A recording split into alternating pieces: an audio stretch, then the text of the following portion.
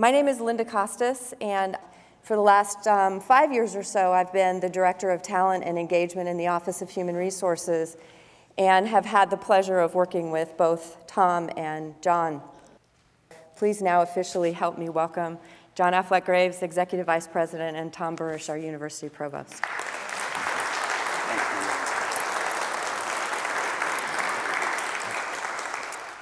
Okay, so maybe if the two of you would just take a couple minutes to give the group a little bit of your background and what you do here, that would be a great way to get started. Well, first of all, let me say to my classmates and other alums, uh, welcome back to Notre Dame. I hope you have a great weekend.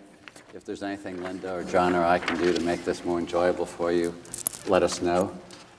Let me start by talking uh, as an alum not as a provost. I haven't always been a provost. I led a perfectly respectable life for many years before, before I became a provost.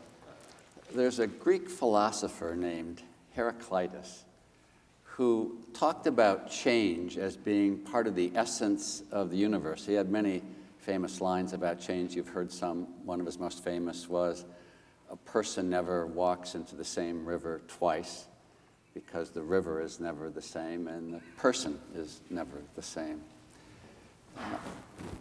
Many of us spent time at Notre Dame. We're not the same person as we was, as we were when we were a student at Notre Dame.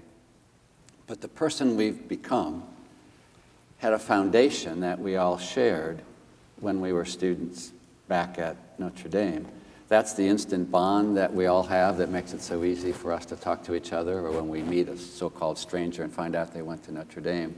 There is that bond among us. I'm sure during this session we'll talk about things that have changed at Notre Dame. But to me, the most important thing is that there's a lot of things that haven't changed, that have stayed the same. Uh, Notre Dame has a three part mission it's to be a premier research university with an unsurpassed undergraduate education in which everything we do is informed by our Catholic faith and our, our values. How you instantiate those things changes from generation to generation. What was cutting edge research in the 50s and 60s and 90s isn't cutting edge research anymore. What courses you had to take to prepare yourself to compete in today's world aren't the same courses you took 30 years ago or 20 years ago or 10 years ago. But the values that underlie all of those things, I don't think have changed at Notre Dame. In fact, I think they get stronger and stronger with every generation, which comes in and, in a way appropriate for that generation, uh, makes those values stronger as part of the university. And I hope that's the message that comes through today in our discussion that while there's been enormous change, John has led much of it, that I'm sure he'll talk about and you'll notice the things that he and I and many others value are very much the same. I look forward to continuing the discussion after the meeting, especially in the beer tents, if I can meet you there later on. But welcome back to campus. Yeah, let me, let me join Tom uh, in, in, welcoming you. You know, we, we, we have a little thing on campus that um, when the weather's great like it is today, it's uh, Father John who made it happen. when it's bad, it's either Tom or me. So, you know, you can thank Father John for the, for the beautiful weather that we have and, and showcases the campus so beautifully. Um, you know, although I'm not a Notre Dame uh, grad, I, uh, I'm in my 30th year anniversary this year of being at Notre Dame. Uh, came in 87, and so it's been a, a, great year for me. I've had the privilege of being on the faculty, which was just wonderful and now being in, the administration, I view my job really, our job in my division, is really fourfold. Um, we're, we're, essentially stewards of the uh, financial, human, physical, and digital assets of the campus. So it's keeping this campus as beautiful as it is for all future generations. It's making sure that we're solvent, that our finances are in good shape, that we can survive not just today, but in the very, very long term, that everybody on campus, whether you're a staff member, a faculty member, a student, an alum, or a visitor, is treated well, treated with respect, um, just, just gets a sense of what a wonderful community this is to be in. Um, so though that's kind of the thing we do. Essentially, we service most of the um, underbelly of the university. I like to say is the junior officer, Father John being the senior, Tom being the number two, and I'm the number three. I do whatever they don't want to do. Yeah, so food services and cleaning and, you know, those, those sorts, of, sorts of things. But it is just a, a tremendous privilege um, to serve um, with, with a truly, and I, and I think I say this, and I know Tom would agree with me, that many people don't see the side of this person. But Father John is an exceptional leader. Um, he, he is very, very focused on, on thinking about the long term and about thinking what's the most important thing for Notre Dame to do. And I think he's happy to leave a lot of the day-to-day stuff to us because he, he really wants to focus on what should Notre Dame be. And I think if he pushes us on anything, Tom, often it's on how, how do we keep the tradition that Notre Dame is vibrant and alive for these next generations. So that this next, that this generation of students and the next generation of students can feel the same way about their experience here that you did. And, and that's our responsibility as a leadership team, is to, is to preserve that. And I just wish that, you know, some of you have children here, grandchildren here. Um, for me, the greatest pleasure uh, at being at Notre Dame is not having the two of us here. You should have our young students here because they, are just so talented and so wonderful. And we have such great confidence in what they're going to do in the world that, you know, they, they're going to do exactly the same things that you did, which is be wonderful community members, be successful people, contribute to to society in really meaningful ways. And it's just a privilege to serve them. Okay, switching uh, gears just a little bit. Um, John, I know we're uh, in, in the um, last stages of uh, planning for the trail event. And in preparation early on, I know you went to Spain and you walked the El Camino in preparation. Yeah. So, can you tell us what was especially memorable about that and how you think that experience is going to translate for all of us mm. that are going to be on the trail. Well, I think most memorable is trying to live with Lou Nanni for four days. there, was, you know, my, my, I, hope, I hope it's not the version of hell. I hope it's purgatory, you know, and so I can, can be prepared for, for when I get there. Um, it, was, it was a tremendous experience, and um, it surprised me in many ways um, because it was, it was wonderful when you spend four days it was only four, we did five days actually. Uh, walking with colleagues, folks that you know, some folks that you don't know, and it builds just an amazing bond. It, it, you know, just amazing what the, that eight hours of, of walking and struggling, everybody's struggling at some times, and people having good, good phases at other times, how it brings you together, and, and just that real sense of, of community. And then even within that, although there were a group of six or seven of us walking together, there were there were always moments when you could be on your own and you could reflect. And um, we'd been given some nice, my daughter, one daughter gave me um, a couple of poems to read and uh, you know, told me to read one every morning before we started. And that was just a very nice touch. And you would find moments on, on the trail when you're just alone and you're in your thoughts and gives you a chance to step back from the, the rigor of everyday life. We were just rushing around. And, and, and I think it was very, very reflective time for us. And I know on the trail, that's one of the things we've brought back, is to um, have this concept of every day to have a theme and, and to give you just something short to read in the morning. And then that while you're out there at some time, you'll be talking to people and having fun and laughing and eating. But there'll be some times where you just want to be quiet and reflect and think about your life and, and have a reflection for every day. So uh, really, uh, it, I was surprised how much it moved me.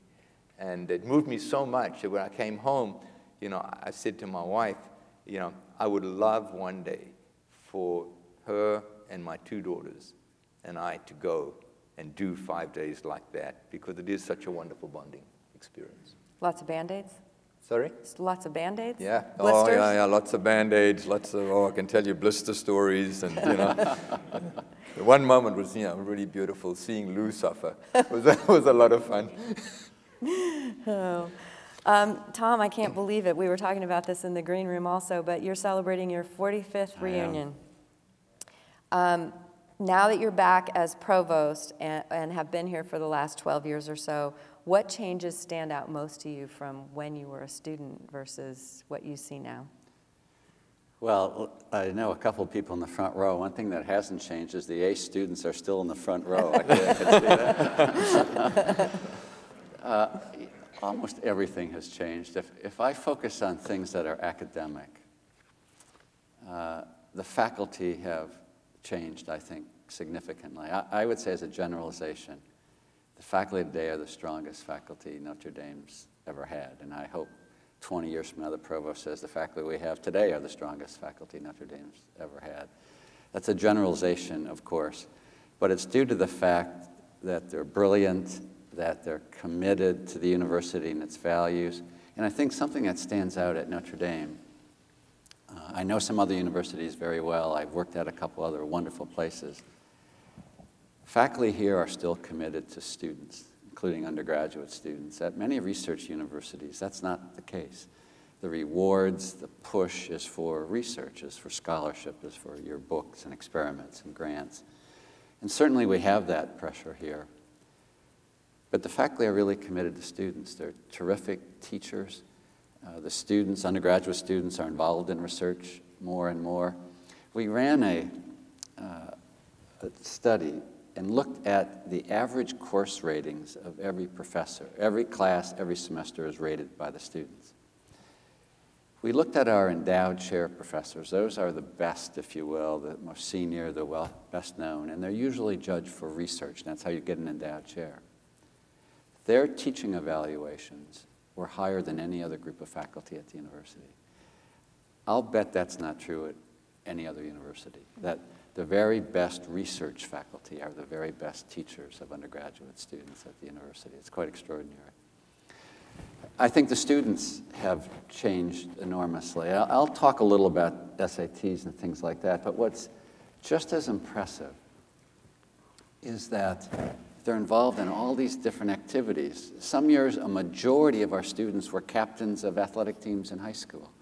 We have students who have started companies. We have students who've published. We have students who speak multiple languages. Uh, we had one student who was in 13 foster homes. Oh, she was valedictorian of her class. We have students who, we have one student whose address was a homeless shelter. That's where she lived with her mother. She gra graduated in the top 5% of her class. Somehow these students make it to Notre Dame. You hear a lot about grade point averages and SAT scores going up, and they have. I'll, I'll give you a very interesting statistic. This year, approximately 7,500 students applied to Notre Dame who are either in the top 1% of national test takers in this country, top 1% of their high school class, or both. We rejected the majority of those students. We rejected more than 2,000 valedictorians this year because there's just not space for them.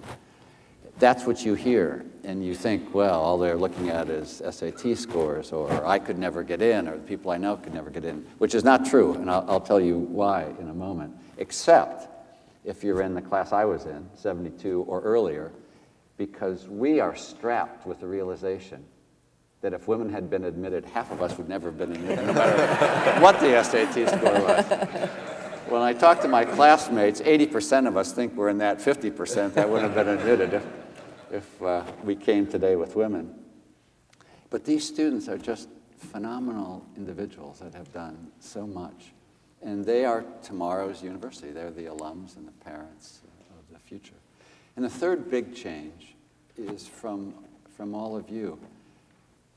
I don't know how it happens, but every year it seems that alums and parents and grandparents and friends are more supportive of the university than they were the year before. And I mean that financially, but I mean it in so many other ways too, in helping us recruit students and helping us hire students and getting the reputation out about the university.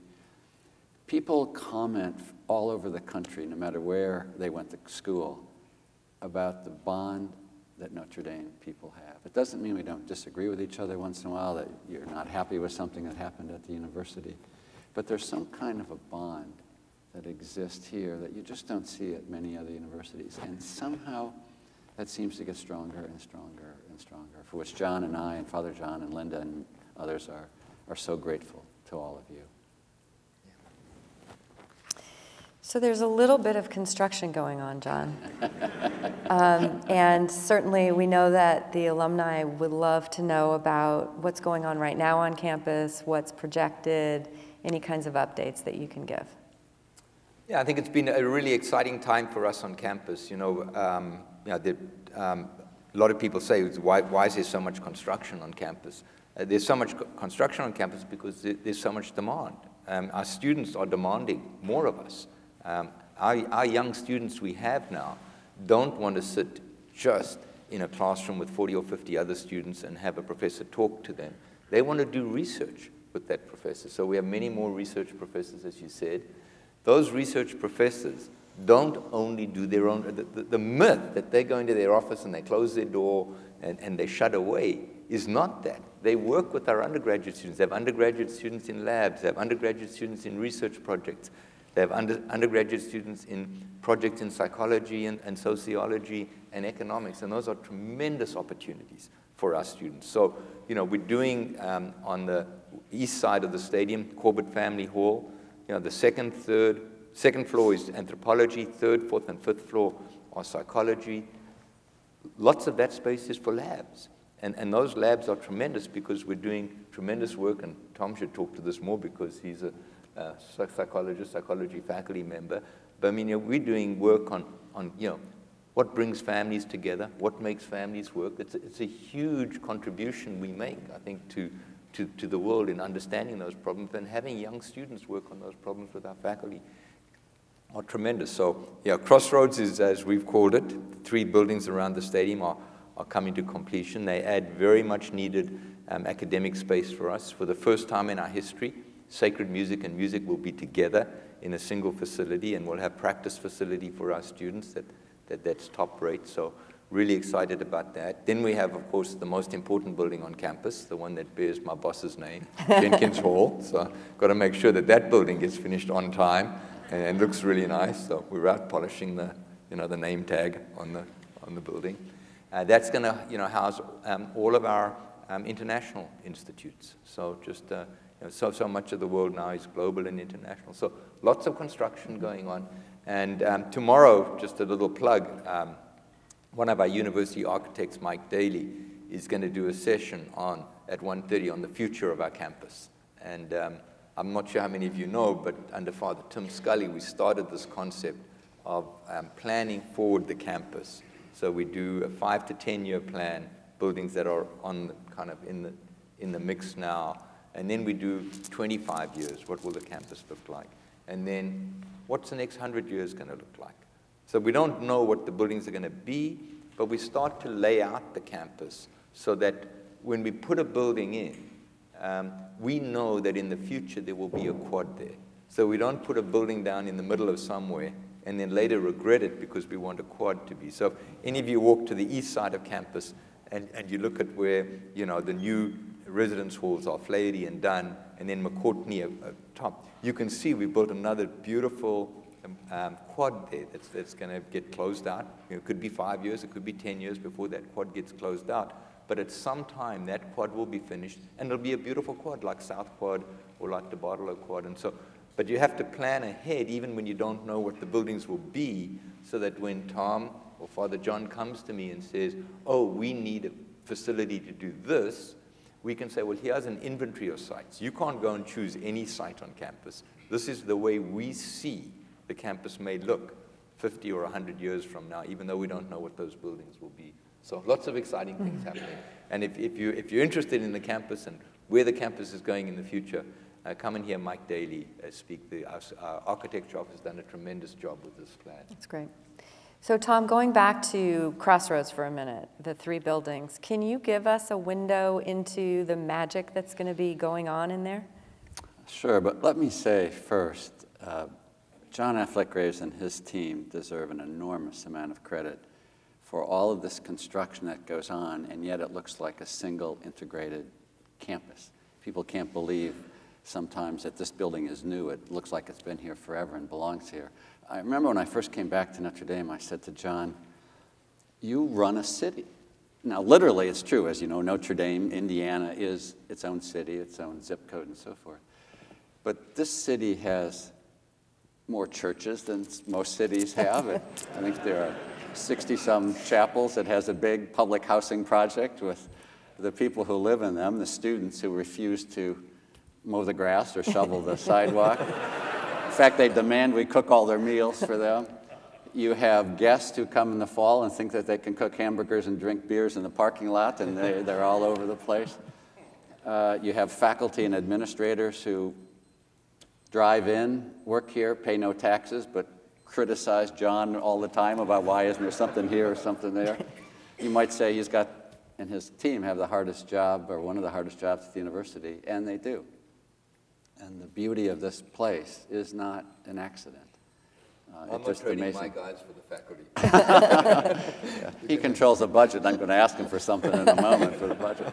But it, it really is, it is phenomenal. Thank you. The, the space that has gone up will allow us to do things we just can't do. And one of the normal questions that you would have, I would think, there aren't many more students. Why do we need all this new space?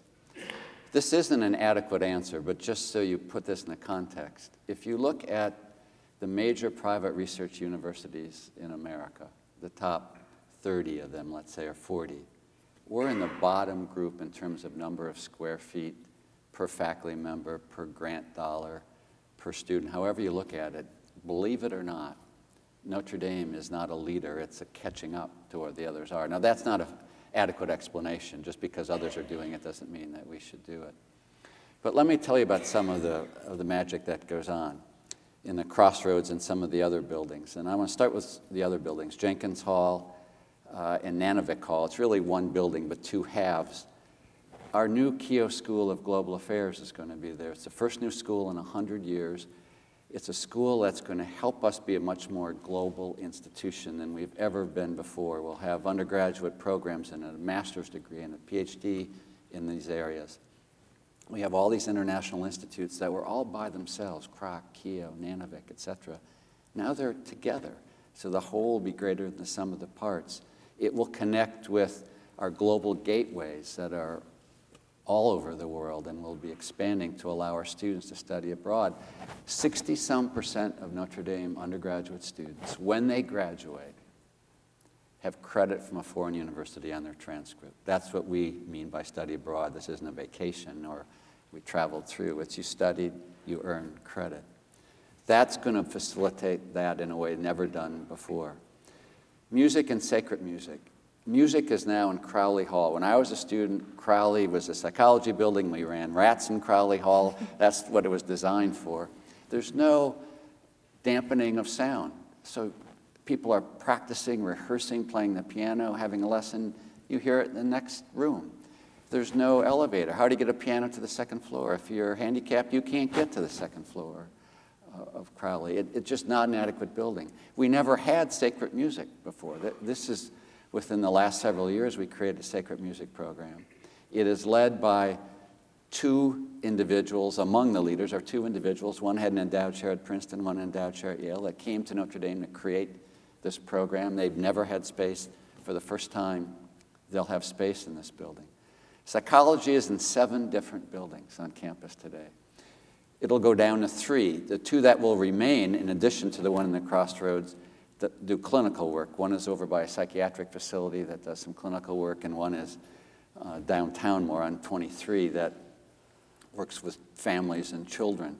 But all of the other research, as John said, the, the experiments that just we couldn't do before in cognition, for example, or with some of the imaging techniques that come out on brain work, that's now possible in that building.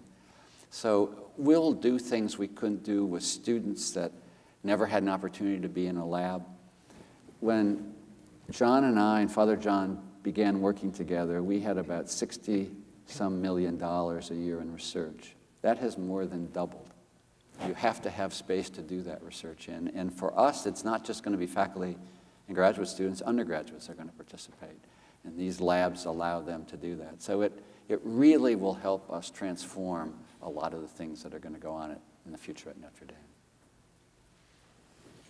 Okay, so one more question about construction, John. I know some of the alums have noticed uh, that there's some construction going on over towards Innovation Park. Can you just tell us a little bit about what's going on there?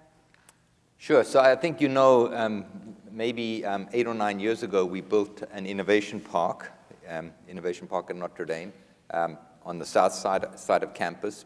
Uh, and again, that's partly coming out of the great research that we're doing. And the faculty members today are different from the faculty members when I came in. When I came in as a faculty member, you did your research, and you know it was it was done for the academic community, and it was the creation of knowledge, but it was for other people, and uh, people weren't as focused on does it have a real world application. That has changed today. Uh, faculty members, whether they're in psychology, they want, they want to see that their research has an impact on people's lives. Or if they're in science or engineering, they, they, want, they want to see that product come to market because they're trying to cure a disease or, they, or they're trying to, trying to make um, planes safer.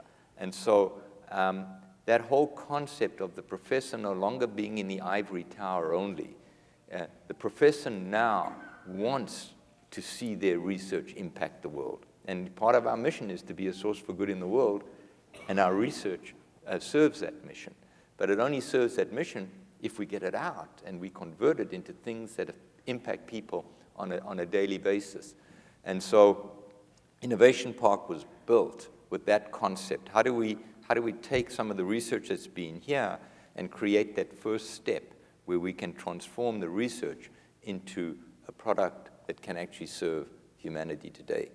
And um, very pleased that under Tom's leadership, we've been absolutely phenomenal, that that, that space is full. And so we're very pleased that we're building this new additional space. And um, it, we're going to have a new center called the Idea Center. But the person who has led this, the person whose dream that is, the person who's provided the, the momentum and the impetus and the resources to do it, is sitting on the stage with me. And so he should tell you about what's going to be in the Idea Center.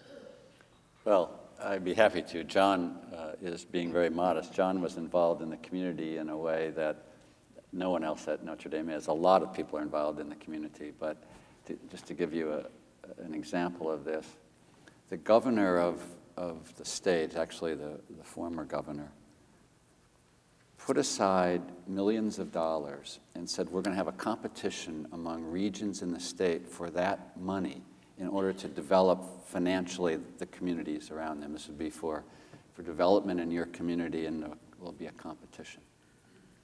The prize was, I think, $42 million if you got one of these. There were going to be two. I think there ended up to be three.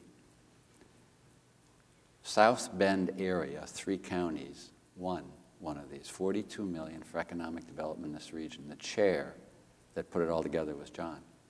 So when we talk about community development, things going on here, that's probably the biggest and most exciting. We do hope that Innovation Park, which is a research park, will contribute to that in some significant way. John is right. Universities have always been hotbeds of innovation. Faculty create things. We call it intellectual property. But faculty didn't take it to the marketplace innovation by itself has no impact. It has to be used. You have to pair innovation with entrepreneurship. That's the mechanism by which this new thing gets to a customer or a company or someone that will use it in a creative way that betters humankind. That's what we're trying to do in Innovation Park.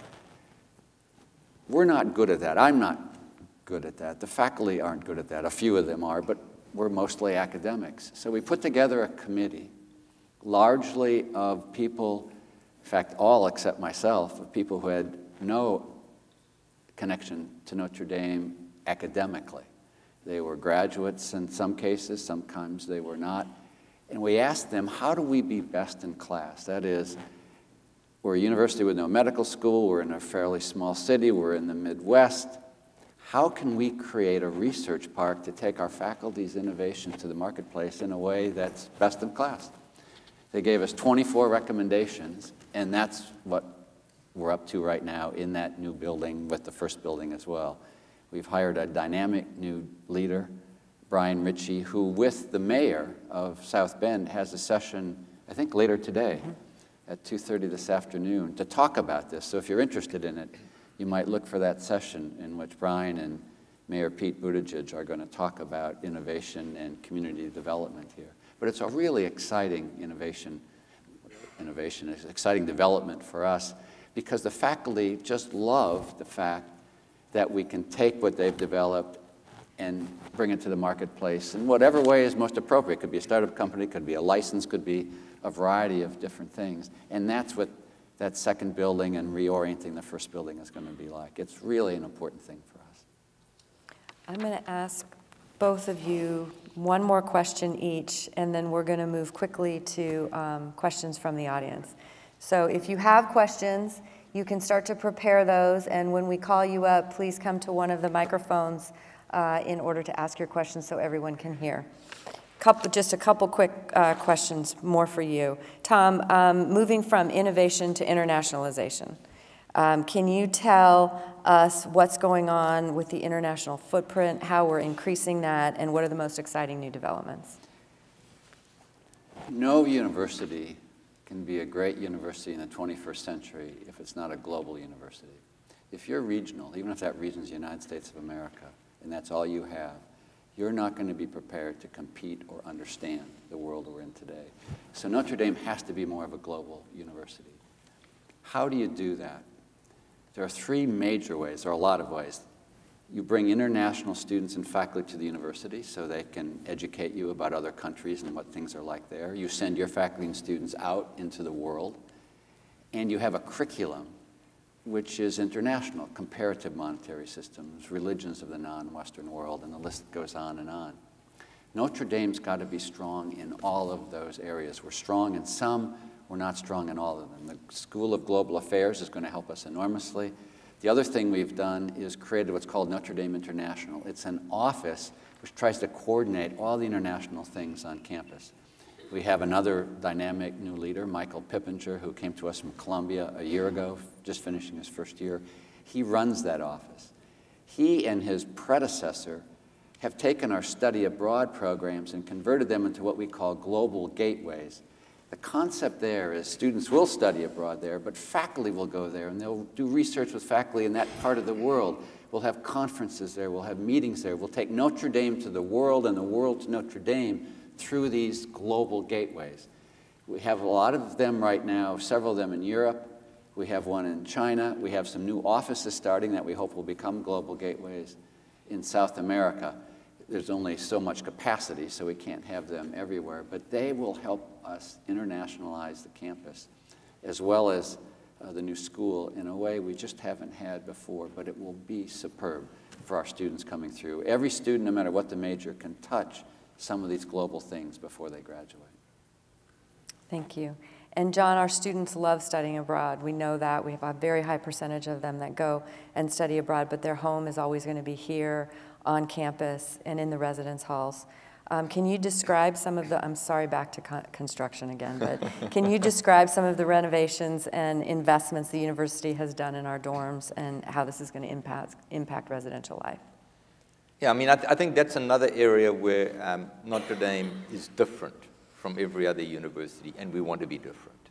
And that's in our commitment to residence life. In many ways, it, it is the defining experience of our students at campus, is their residence life.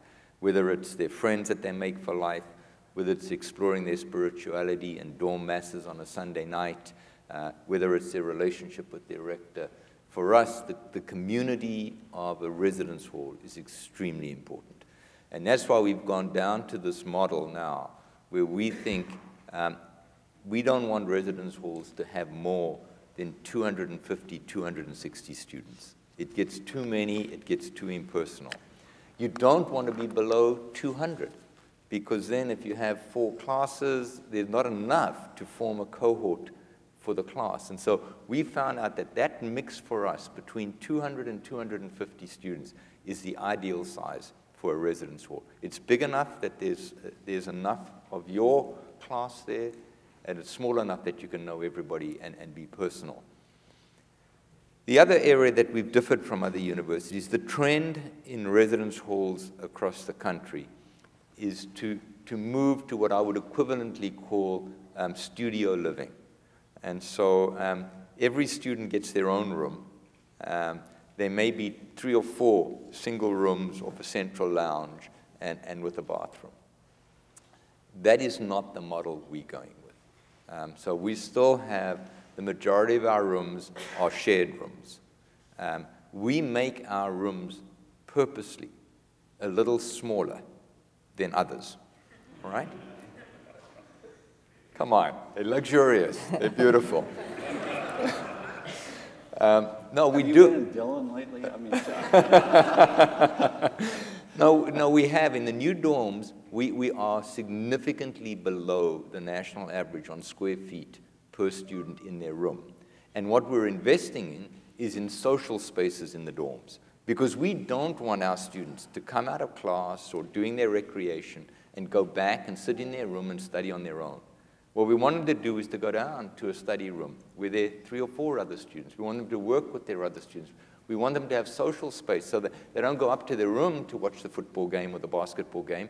They go down to the social space and, and they mix with the other kids in, in the dorm. So, so our dorms overall on a square foot basis are the same, but, but we really want that sense of community. And so, so we make the, the actual living areas just a little smaller, a little tighter, community bathrooms, and then lots of great community space. And I, I think it's worked very well. Uh, Dunne and Flaherty have been very successful halls for us under that model. Really Erin, beautiful. Erin Harding has done a tremendous job leading that effort. That's So great. very, very deliberate about what we're trying to do in student life and build community. And I think we've run out of time. Thank you very much, everybody. Thanks, everybody. thank you very much.